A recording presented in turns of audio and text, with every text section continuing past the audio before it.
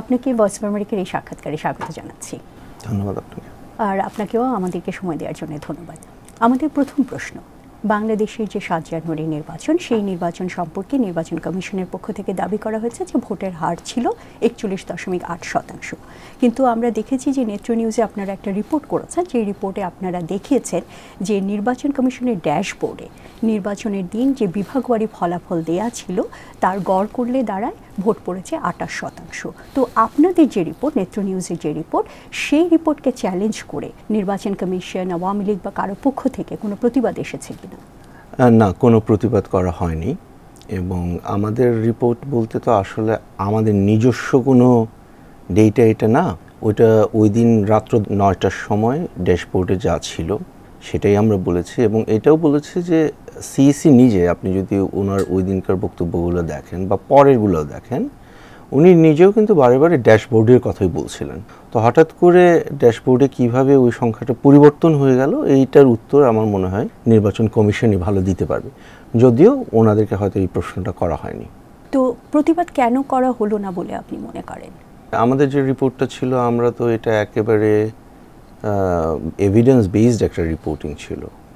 ড্যাশবোর্ডের ছবি ছিল কখন তোলা হয়েছে সেটা বলা হয়েছে কীভাবে ড্যাশবোর্ডে তথ্য আপলোড করা হয়েছে আমরা সেটারও একটা ছবি দিয়েছি যে তারা যে অ্যাপটা ব্যবহার করছিলেন কপত। কপত যে অ্যাপটা ব্যবহার করছিলেন। এমনকি আপনি যদি ওই ছবিটা একটু জুম ইন করে দেখেন ওইখানে দেখবেন যে যে নির্বাচনী কর্মকর্তা ওই অ্যাপটা ব্যবহার করছেন মানে আমাদের রিপোর্টারকে দেখাচ্ছিলেন সেখানে আবার একটা মানে হাতে লেখা একটা ভোটের হিসাবও ছিল। দুইটার সময় এত, চারটা সময় এত, এইভাবে। তো আমার কাছে মনে হয় যে এখানে আসলে প্রতিবাদ করার মতো বা চ্যালেঞ্জ করার মতো কিছু না বাট অবশ্যই তারা যদি প্রতিবাদ করতে চান বা চ্যালেঞ্জ করতে চান definitely we we welcome that তো আপনাদের রিপোর্টের যে আপনারা বিভাগবাড়ি ফলাফলের ভিত্তিতে যে গড় একটা বের করেছেন, তাতে দেখা যাচ্ছে যে ভোট পড়েছে আঠাশ শতাংশ। এদিকে নির্বাচন কমিশন দাবি করছে একচল্লিশ দশমিক আট শতাংশ, আবার অনেকে বলছেন ভোট পড়েছে আরও অনেক কম। অনেকে বলছেন এটা প্রায় দশ শতাংশের মতো। তো ভোটের হার যদি এগুলোর যে কোনো একটাও আমরা ধরে নেই, তাহলেই দেখা যাচ্ছে অন্যান্য যে কোনো নির্বাচনের তুলনায় এবারে ভোটার উপস্থিতি অনেক কম ছিল। তো ভোটারের এই কম উপস্থিতি বা ভোটারদের এই অনুপস্থিতি এর পেছনে বিএনপির যে নির্বাচন বর্জনের ডাক, তার জনসমর্থনের কতটা প্রতিফলন বলে আপনি এটাকে মনে করেন? এই প্রশ্নটা খুবই ইন্টারেস্টিং এবং এটার উত্তরটাও আসলে খুব একটা সহজ হবে না। কারণ আমি ব্যক্তিগতভাবে মনে করি যে বিএনপি যদি ইলেকশনে যেত, তাহলেও জনগণ কিন্তু ভোট থেকে বিরত থাকতো। যেটা আমরা দুই হাজার আঠারোতে যেটা দেখেছি, যে অনেক মানুষ মানে তারা লাইন ধরে সকাল থেকে দাঁড়িয়েছিলেন। তাদের উপরে হামলা হয়েছে। অনেককে বলা হয়েছে যে আপনাদের ভোট দেওয়া হয়ে গেছে, আপনারা চলে যান। আওয়ামী লীগের ভোটার, এমন লোকজনের সাথেও আমার কথা হয়েছে। এবং এই যে একটা ফ্রাস্ট্রেশন যে ভোট দিতে পারব না, তার ব্যবস্থার উপরে তাদের যে বিশ্বাস, যে ট্রাস্ট আছে, সেটা তারা হারিয়ে ফেলেছেন। আমার মনে হয় যে বিএনপির পক্ষেও ইনফ্যাক্ট বিএনপি ইলেকশনে গেলেও যে অনেক বেশি ভোটার ভোট দিতে চলে যেত, এই বর্তমান যে সেট আছে, সেটার অধীনে আমার কাছে সেটা মনে হয় না। আমি মনে করি না যে যারা সে আঠাশ পার্সেন্ট ধরি, সত্তর পার্সেন্টের মতো ভোটার ভোট দিতে যান নাই। এর মধ্যে আরেকটা কথা হলো কি যে এই আঠাশ পার্সেন্টের মধ্যেও বা চল্লিশ পার্সেন্টের মধ্যেও প্রচুর ছিল জাল ভোট। আমরা দিনের বেলা আমরা যে রিপোর্টিং করেছি ওই দিন এবং পরে আমরা একটা ভিডিও পাবলিশ করেছি ঢাকার বিভিন্ন কেন্দ্র থেকে। কোথাও ভোটার ছিল না। কিন্তু ফেক লাইন ছিল, যেটাকে আমরা বলেছি ডামি লাইন ডামি ভোটারদের ডামি লাইন তো ওইগুলোও হিসাব করলে ফেক ভোটগুলো হিসাব করলেও ধরলাম চল্লিশ পার্সেন্ট সেখানে সবাই কি বিএনপির সমর্থক? বা সবাই কি আওয়ামী লীগের সমর্থক নন এমন? এটাও না। আওয়ামী লীগের মানুষই ভোট দিতে যান নাই, কারণ বাংলাদেশের জনগণ বর্তমানে যেভাবে বাংলাদেশে নির্বাচন হচ্ছে দে ডোন্ট ট্রাস্ট ইট নির্বাচন ব্যবস্থার যে ক্রেডিবিলিটি ছিল, সেটা একেবারেই নাই এখন। ধন্যবাদ। বাংলাদেশের এই সাত জানুয়ারি নির্বাচনে আরেকটি প্রশ্ন, সেটা হচ্ছে যে ইউরোপিয়ান ইউনিয়নের technical team N D I এবং আইআরআই এর প্রতিনিধিরা নির্বাচনের পরপরই নির্বাচন কমিশনের সাথে কথা বলেছে এবং পনেরোই জানুয়ারি তারা একটা বৈঠকও করেছে এবং তারা এই নির্বাচন নিয়ে তথ্য জানতে চেয়েছে এবং যে অ্যাপ ছিল নির্বাচন পরিচালনার সময়, সেই অ্যাপের কার্যক্রম সম্পর্কেও বিস্তারিত তথ্য জানতে চেয়েছে। তো নির্বাচন কমিশনের দাবি ছিল ভোটের আগে যে এই অ্যাপের মাধ্যমে দু ঘণ্টা পর পর ভোটের হারের একটা হালনাগাদ পরিসংখ্যান জানা যাবে। কিন্তু আমরা এও জানি যে অ্যাপটি নির্বাচনের দিন সেভাবে কাজ করেনি।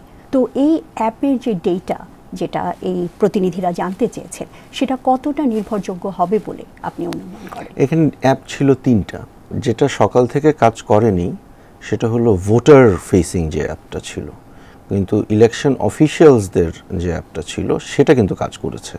এছাড়াও তাদের যে রো ডেটা যেটা তারা পাঠিয়েছেন, তাদের হোয়াটসঅ্যাপ গ্রুপ ছিল। পুরো বাংলাদেশের জন্য হোয়াটসঅ্যাপ গ্রুপ ছিল, এক একটা কনস্টিটিউশনের জন্য হোয়াটসঅ্যাপ গ্রুপ ছিল, তারপরে অ্যাপ ছিল। যদিও নির্বাচন কমিশন থেকে পরে দাবি করা হয়েছে যে তিনটা জেলার লোকজন কোনো একটা কারণে, কোন জেলা বলেন নাই ওনারা ভোটগুলো তারা মানে ডেটাটা ওনারা পাঠাতে পারেননি। কিন্তু অ্যাপ ছিল তিনটা। সো যে ডেটাটা ছিল, সেটা ডেফিনেটলি তাদের কাছে এসেছে। এখন তারা তো এখন আসনওয়ারি বিভিন্ন ফলাফল প্রকাশ করেছেন, যেটা অলরেডি নির্বাচন কমিশনের ওয়েবসাইটে আছে। তো সেই ডেটা কোথা থেকে পেলেন?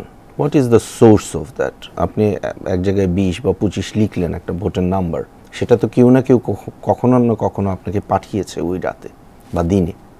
সেটা আপনি কীভাবে পেয়েছেন? এটা তো, এইটা যদি আপনি ব্যাখ্যা না করতে পারেন মানে এই র ডেটা যদি আপনার হাতে না থাকে, তাহলে তো ইলেকশন প্রসেসের মানে ইন্টিগ্রিটি বলতে এমনিতেই কিছু নাই, আরও থাকবে না। তো এটা তারা জানতে চাইতেই পারে এবং ডেটাটা তাদেরকে আমি মনে করি যে শেয়ার করা উচিত, আমাদের সাথেও শেয়ার করা উচিত। এখানে একটা প্রবলেম হলো যে আইআরআই বলেন বা এনডিআই বলেন বা ইউরোপিয়ান কমিশন বলেন, ওনারা তো ফরেন অ্যাক্টার্স রাইট বাংলাদেশের যে সাংবাদিক যারা আছেন বা আমরা যারা বাংলাদেশে কাজ করি আমাদেরকে কেন এই ডেটা দেওয়া হবে না? এখানে যদি মানে আমি তাদের কাছে হয়তো কোয়ারি দেই it's not a public secret it should be a public information যেটা পাবলিকলি অ্যাভেলেবল হওয়ার কথা। কখন কোন ভোট পড়েছে ডেটা কীভাবে এসেছে, কোন কেন্দ্রে কী অবস্থা ছিল। দিজ আর পাবলিক ইনফরমেশন তো ওনারা এটা গার্ড করে কেন রাখবেন? এটা আমার কাছে মনে হয় যে ওনারাই ভালো বলতে পারবেন। আর আরেকটা জিনিস হলো যে, একটা জিনিস দেখতে হবে যে when you are playing with numbers any numbers let's a dealing with numbers নাম্বারগুলোকে মানে বদলে দেওয়া খুবই কঠিন। ওইটা বিভিন্ন ধরনের, যেমন পলিটিক্যাল সায়েন্টিস্টরা বাংলাদেশে হয় নাই মানে অন্যান্য দেশে হয়েছে। পলিটিক্যাল সায়েন্টিস্টরা নাম্বারগুলোর উপরে বিভিন্ন লাস্ট ডিজিট টেস্ট বা ফার্স্ট টু ডিজিট টেস্ট এরকম টেস্ট করে বের করতে পারেন যে এই আসনটাতে কারচুপির চিহ্ন দেখা যাচ্ছে। আমি অত লম্বা ব্যাখ্যায় যাব না। বাট আমরা এই টেস্টটা করছি এখন, কিছু কিছু আসনে। কিছু আসনে আমাদের যে, আমরা যে অ্যালগোরিদম এবং আর্টিফিশিয়াল ইন্টেলিজেন্স ব্যবহার করে দেখছি, সেখানে দেখা যাচ্ছে যে, আসলে কোনো কারচুপির কোনো চিহ্ন নাই। আবার কিছু কিছু আসনে দেখা যাচ্ছে যে, খুবই কনসিস্টেন্টলি কেন্দ্রের পর কেন্দ্র অ্যালগোরিদম বলছে যে, না, এই নাম্বারগুলোতে সমস্যা আছে, এই নাম্বারগুলোতে সমস্যা আছে। তো আমি মনে করি যে, এই এই ধরনের যে স্কেপটিসিজম থাকবেই। ইনফ্যাক্ট আপনাদের যুক্তরাষ্ট্রেও তো ডোনাল্ড ট্রাম্প সাহেব ইলেকশন ইন্টিগ্রিটি প্রসেস নিয়ে অনেক আপত্তি করেন। তো সেক্ষেত্রে কিন্তু এই যে ডেটাগুলো রো ডেটাগুলো খুবই ইম্পর্ট্যান্ট এই যে যুক্তরাষ্ট্র এই নির্বাচনী একটা প্রতিক্রিয়া দেখাল যে আমরা দেখেছি যে যুক্তরাষ্ট্রের স্টেট ডিপার্টমেন্টের মুখপাত্র ম্যাথিউ মিলার তার বিবৃতিতে বলেছেন যে যুক্তরাষ্ট্র মনে করে এই সাত জানুয়ারি নির্বাচন অবাধ এবং সুষ্ঠু হয়নি। তো তাদের এই প্রতিক্রিয়াকে আপনি কীভাবে দেখছেন? খুবই স্বাভাবিক প্রতিক্রিয়া। যে নির্বাচন ফ্রি অ্যান্ড ফেয়ার হয় নাই, তাতে সেটাকে তো কোনো কোনো অবজেক্টিভ অ্যাক্টেরই যুক্তরাষ্ট্র অবজেক্টিভ অ্যাক্টার না বাট কেউই এটাকে ফ্রি অ্যান্ড ফেয়ার বলবেন না।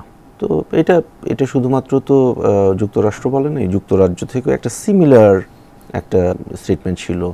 ইউরোপিয়ান ইউনিয়ন থেকে একটা সিমিলার স্টেটমেন্ট ছিল। এমনকি একটা খুব ইন্টারেস্টিং জিনিস হলো গিয়ে যে জাতিসংঘের মহাসচিব যে কনগ্রেচুলেট করেছেন, তারপরে তার মুখপাত্রকে প্রেস কনফারেন্সের সময় জিজ্ঞেস করা হয়েছে যে ডাজ ইট মিন যে জাতিসংঘ হ্যাজ চেঞ্জড ইটস পজিশন হ্যাঁ? তখন উনি বলেছেন, না আমি জাতিসংঘের মহাসচিব সবাইকেই রুটিনলি কংগ্রেচুলেট করেন। কিন্তু নির্বাচন সম্পর্কে এবং মানবাধিকার পরিস্থিতি সম্পর্কে জাতিসংঘের টেকটা হলো সেটাই যেটা জাতিসংঘের হিউম্যান রাইটস কমিশনার ফলকা টুর যেটা অলরেডি বলেছেন। তো ওইখানে কোনো কিছু চেঞ্জ হয় না আর সবচেয়ে বড় কথা হলো যে বাংলাদেশে নির্বাচন ফ্রি অ্যান্ড ফেয়ার হয়েছে কি না এটার বলতে পারবেন সবচেয়ে ভালো যেটা সেটা তো হলো বাংলাদেশের ভোটাররা ওনারা তো ভোটই দিতে যাননি।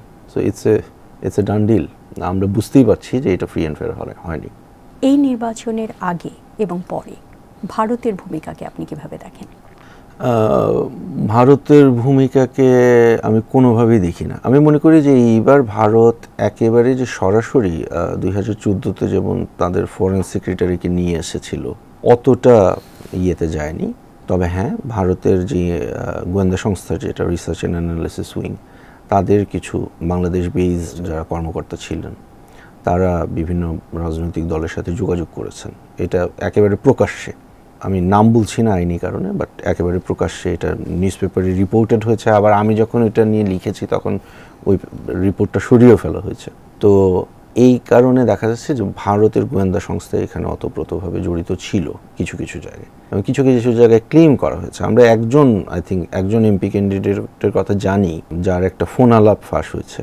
সেখানে উনি বলছেন, আমি ভারতের ক্যান্ডিডেট এটা আমি মনে করি যে ভারতের যে ইমেজটা বাংলাদেশে, এমনিতেই খারাপ, এটা আরও খারাপ হবে। এবং আমরা ভারতকে গণতান্ত্রিক রাষ্ট্র হিসাবে সব জায়গায় দেখা হয় বা সবাই দেখতে চায়, বিশেষ করে যুক্তরাষ্ট্রে বা ইউরোপে। এই যে বিষয়গুলো যে পার্শ্ববর্তী দেশের রাজনীতিতে হস্তক্ষেপ, এমনকি ইলেকশন ইঞ্জিনিয়ারিং এগুলো কিন্তু দেশ বিরোধী রাষ্ট্রবিরোধী দেশের জনগণের বিরুদ্ধে একটা অবস্থান। এবং এটার জন্য আমি মনে করি যে ভবিষ্যতে ভারতকে একটা মূল্য কিন্তু দিতে হবে। কারণ সব দিন তো এক যাবে না। এবং সেক্ষেত্রে ভারতের যে নীতি নির্ধারক যারা আছেন again I am making a distinction between ভারতীয় জনগণ এবং ভারতের সরকার। কারণ ভারতের জনগণের মধ্যে কিন্তু আমরা দেখেছি যে বাংলাদেশের গণতন্ত্রের জন্য একটা বিশাল একটা গ্রাউন্ডসওয়েল সাপোর্ট অলরেডি আছে। আমরা যখন সে নেত্র নিউজের আগে আমি প্রায় নিয়মিত লিখতাম দ্য ওয়ার বলে একটা পত্রিকা আছে ভারতে সেখানে। এবং আমার বাংলাদেশ নিয়ে তারা সবসময় উৎসাহী ছিল যে কি হচ্ছে, কি হবে। তো ভারতের সাধারণ জনগণের ব্যাপারে আমার আসলে কোনো মন্তব্য নেই। আমি আমি তাদের সংহতির জন্য আমি বলব ধন্যবাদ জানাতে হয়।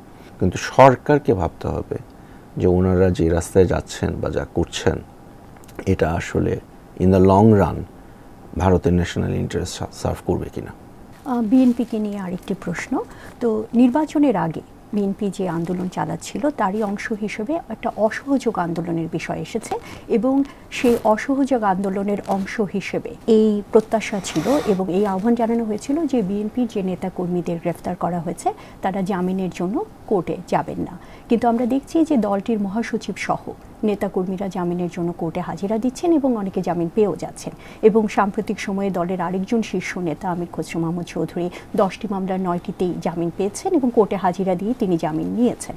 তো এই যে অসহযোগ আন্দোলন, বিএনপির এই আন্দোলনের সফলতার সম্ভাবনা কতটুকু বলে আপনি মনে করেন? বিএনপির আন্দোলন আপনাকে একটা জিনিস আমাদের সবাইকে বলতে হবে যে আমরা দুই হাজার বিশ বা দুই একুশের প্রথম দিকে বা দুই হাজার আঠারো ইলেকশনের পরেও এক ধরনের ডিসপেয়ার ছিল মানুষের মধ্যে। এবং বিএনপি যে গত দুই বছরে একটা গ্রাউন্ডসওয়েল সাপোর্ট তারা তৈরি করতে পেরেছে, এটা কোনোভাবেই মানে ডিসকাউন্ট করা যাবে না। এটা তাদের একটা বড় সাফল্য। এবং সাফল্য কারণ হলো যে, দেখেন বিএনপিতে এখন যারা যোগদান করেছে এবং আমার যে টিম আছে, আমরা বারে বারে বিভিন্ন বিভাগে তারপরে ঢাকায় তাদের যে মহাসভা পেশ হয়েছে। আমরা এখানে গিয়েছি এবং বিএনপির একেবারে গ্রাসরুটসের যে যারা সমাবেশে এসেছেন, তাদের সাথে আমরা কথা বলেছি। ট্রাইং টু আন্ডারস্ট্যান্ড যে কারা তারা। এরা কিন্তু আগে একটা বিশাল অংশ আছে যারা আগে রাজনীতির সাথেই ছিলেন না। তো বাংলাদেশের রাজনীতিতে একটা আছে না যে আচ্ছা আমি একবার বিএনপিতে জয়েন করলাম বা আওয়ামী লীগে জয়েন করলাম, এখন না হয় বিরোধী দল, সরকারে গেলে সুবিধা পাবো। এরা কোনো ধরনের সুবিধা ভুগে না। All they want they want their rights তাদের যে রাজনৈতিক অধিকার, অর্থনৈতিক অধিকার, সেগুলো তারা ফেরত চান এবং সিকিউর করতে চান। তো এই যে একটা বিশাল জনগোষ্ঠী, এদেরকে ব্যর্থ বলাটা আমার মনে হয় খুবই অ্যারোগেন্ট হবে। কিন্তু বিএনপির লিডারশিপের স্ট্র্যাটেজিতে ডেফিনেটলি কিছু প্রবলেম ছিল। আপনি যেটা অসহযোগ আন্দোলনের কথা বলছেন, বিএনপির পক্ষ থেকে আমরা একটা কথা শুনি। প্রাইভেটলি ওনারা বলেন যে, কি করব? আমরা তো চেষ্টা করলাম বাট জনগণ আমাদের সাথে আসেনি। বা, যেভাবে এক্সপেক্ট করেছিলাম, জনগণ রাস্তায় নামবে, তারা নামেনি। তো আমি তাদের কাছে জানতে চেয়েছি, এখন উত্তর পাইনি। আমি বললাম যে আচ্ছা সাত তারিখে তো ইলেকশন হলো। সে আট তারিখে the so called result was declared and all that তখন ঢাকার পাঁচটা ছেলে, ধানমন্ডি বা মিরপুর বা হোয়াট এভার উত্তরা, যারা বিএনপিরও না আওয়ামী লীগেরও না সাধারণ জনগণ দ্য প্রোভারভিয়াল পিপল ওরা বলল যে আমরা এটা মানি না, আমরা এটা রিজেক্ট করব। এবং আমরা বিএনপির যে মানে আন্দোলনে নামার যে দাবি বা আন্দোলনে সংহতি প্রকাশ করার যে দাবি, এটাতে আমরা সম্মতি জানাই, আমরা কিছু একটা করতে চাই। তারা ঢাকা শহরের কোন জায়গায় গিয়ে দাঁড়াতো? একটা তো জায়গা লাগে, আপনি একটা প্রতিবাদ করবেন। শাহবাগে যাবেন বা ছাপলা চত্বরে যাবেন বা প্রাইম মিনিস্টারের অফিসের সামনে যাবেন বা কোথাও না কোথাও তো যেতে হবে। ইফ ইউ লুক ব্যাক বিএনপির তো ওই দিনের কোনো প্রোগ্রামও ছিল না, এখনও নাই। আর আরেকটা যেটা বলছেন যে বিএনপির নেতা কর্মীরা কেন এখন আদালতে যাচ্ছেন, আমি মনে করি এটা একটা তামাশা। তারা যেটা করছেন, একবার বলা যে আমি আদালত বর্জন করলাম, তারপরে যাওয়া, এটা একটা তামাশা ডেফিনেটলি কিন্তু আদালত নিজেই একটা তামাশাতে পরিণত হয়েছে। আদালতে যেভাবে রায়গুলো দেয়া হচ্ছে, কালকে সম্ভবত মানব জমিনে একটা রিপোর্ট এসেছে, একজন ভদ্রলোক, আমি এক্স্যাক্টলি মনে করতে পারছি না কোথায়, উনি অন্ধ, বৃদ্ধ এবং অন্ধ। পুলিশ তার উপরে, যেটা আমরা বাংলাদেশে বলি গায়েবী মামলা, দিয়ে রেখেছে যে উনি পুলিশের গাড়িতে ককটেল মেরেছেন বাসে আগুন দিয়েছেন ব্লা ব্লা ব্লা বিভিন্ন ধরনের। তো বাংলাদেশে আসলে এই চলছে এখন। ইন্টারেস্টিং জিনিস হলো যে এই সমস্ত মামলায় পুলিশই বাদী পুলিশই সাক্ষী এবং পুলিশ যে রায়টা চায় সেটাই তারা পেয়ে যাচ্ছে। মানে আমরা তো রুল অফ লয়ের একটা কথা আছে না যে জাজ জুরি অ্যান্ড এক্সিকিউশনার হওয়া যাবে না। আপনার বিরুদ্ধে আমি একটা অপরাধের মামলা করলাম, আমি সাক্ষী দিলাম আমার সেটার ভিত্তিতে আমি যে রায়টা চাচ্ছি সেটাই আমি পেয়ে গেছি। এটা তো কোনো আইনি কোনো প্রক্রিয়া হতে পারে না। এটা তো কোনো মানে ন্যায় বিচারের যতগুলো প্রিরিকুইজিটস আছে সব কিছু ভঙ্গ করে বাংলাদেশে এখন এক একটা রায় দেওয়া হচ্ছে। এবং নির্বাচন যেরকম একটা দামি নির্বাচন বলা হয়, আমি তো মনে করি যে বিচার ব্যবস্থা এখন মানে একটা ডামি বিচার ব্যবস্থায় পরিণত হয়েছে। এটা আসলে রিয়েল বিচার ব্যবস্থা না। আপনার বিরুদ্ধে মামলা প্রসঙ্গে আসি। তো আপনার বিরুদ্ধে তো ডিজিটাল সিকিউরিটি আইনে একটা মামলা দেওয়া হয়েছিল। সেই মামলা এখন কোন অবস্থায় আছে? আমি জানি না কোন অবস্থায় আছে ফ্রেঙ্কলি স্পিকিং কারণ এইটা এমন একটা উদ্ভট একটা বিষয় যেভাবে তারা আমার বিরুদ্ধে মামলাটা করেছে। প্রথম কথা হলো, আমি বাংলাদেশে থাকি না। তারপরে তারা একটা মানে যেটাকে বলে গায়ের জোরে ড্রাফটিং করা, আইনের মধ্যে একটা এক্সট্রা টেরিটোরিয়াল জুরিসডিকশনের একটা বিষয় তারা ঢুকিয়েছেন। কিন্তু তাদের কোর্ট বা বাংলাদেশের কোর্ট বা পুলিশ বা ইনভেস্টিগেটিভ এজেন্সি একটাও এই ধরনের জিওগ্রাফিক্যাল যে সমস্যাটা, আমি সুইডেনের নাগরিক, থাকি সুইডেনে, লিখেছি ধরেন যুক্তরাষ্ট্র বেসড একটা প্ল্যাটফর্মে ফেসবুকে সেটার জন্য আমাকে, আমার বিরুদ্ধে মামলা হয়েছে বাংলাদেশে। বাংলাদেশে আমি নাই, দুই হাজার সাত সাল থেকে আমি বাংলাদেশে যাইনি। তো আমার আমাকে যে মামলাটা করা হলো, এটা আমি পেপারে পড়েছি। আমাকে কেউ কোনো দিন বলে নাই। এমনিতেও দুই পুলিশ অফিসারদের সাথে আমার কথা হয়েছে। নট অফিসিয়ালি এমনি মানে ফোনে কথা যেটা। আমাকে কোনো, বাংলাদেশে তো এখানে একটা এমবেসি আছে। তারা কোনো চিঠি দেয় নাই। কোর্ট কোনো চিঠি দেয় নাই, কোনো সমন্স দেয় নাই, কিছুই দেয় নাই। আমি কিছুই জানি না। সবচেয়ে ইন্টারেস্টিং ব্যাপার হলো যে প্রথম পর্যায়ে আমার বিরুদ্ধে মামলার অভিযোগ যেটা ছিল বা অভিযোগগুলো ছিল, সেটা তদন্ত করে পুলিশ একটা প্রতিবেদন দিয়েছে যে এটা আমাকে এই মামলা থেকে ড্রপ করা হোক। It's a matter of record যেটা পত্রিকায় আমি দেখেছি যে আমাকে এই মামলা থেকে ড্রপ করা হয়, আমার ব্যাপারে খোঁজখবর করে কিছু পায় নাই তারা। ওইটা কারও না কারও পছন্দ হয়নি এবং তারা আবার এটা জাজ সাহেব বলেছেন যে না, এটা এখন আরেকটা সংস্থা এটা তদন্ত করবে। তদন্ত করে যা পেয়েছে সেটা হলো গিয়ে আমার, আমি যতটুকু বুঝেছি, আমার বিরুদ্ধে ইনিশিয়ালি যা ইনফরমেশন তারা পান নাই, ওইটা এখনও পান নাই।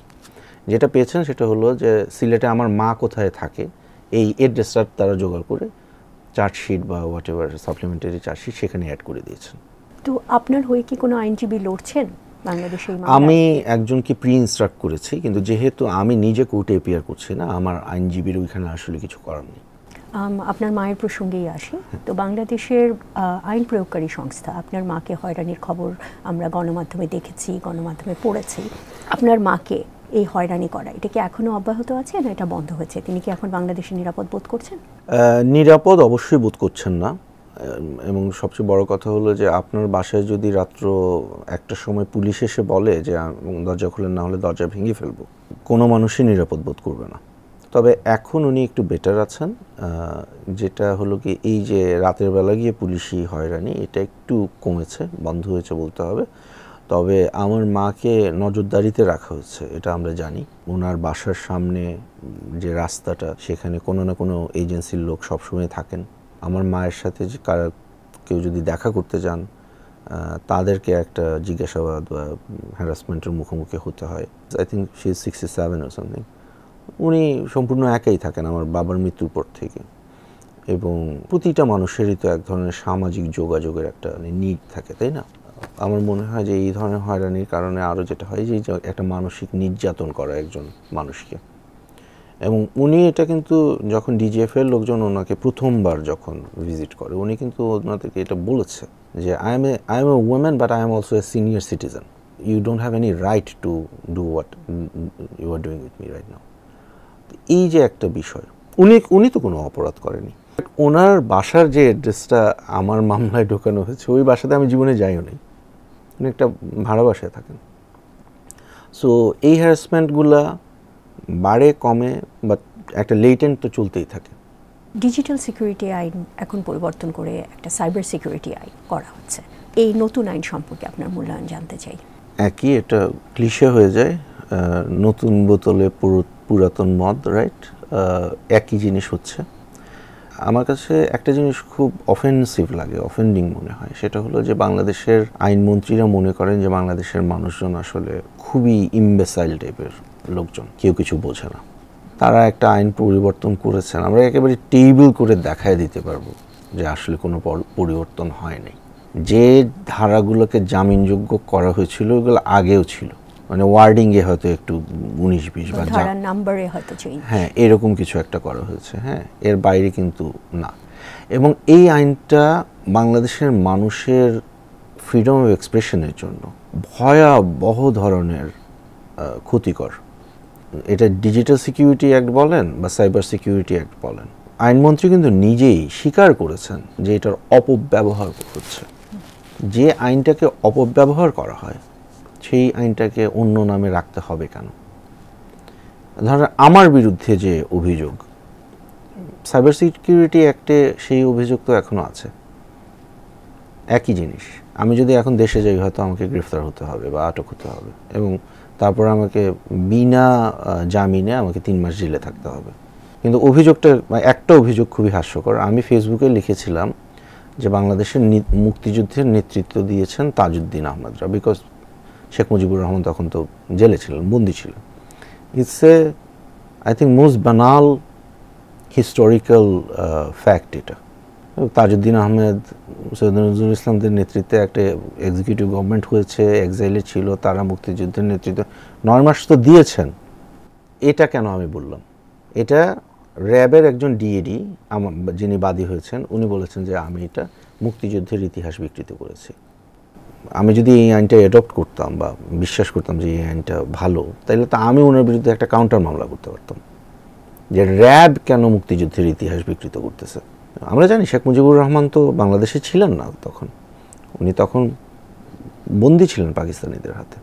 সেটাও ডেফিনেটলি একটা নির্যাতনের ঘটনা। আমরা তো তার আত্মজীবনীতেও পড়েছি পরে যে I mean how terrified he was তাই না? কিন্তু হিস্টোরিক্যাল ফ্যাক্ট তো এটাই।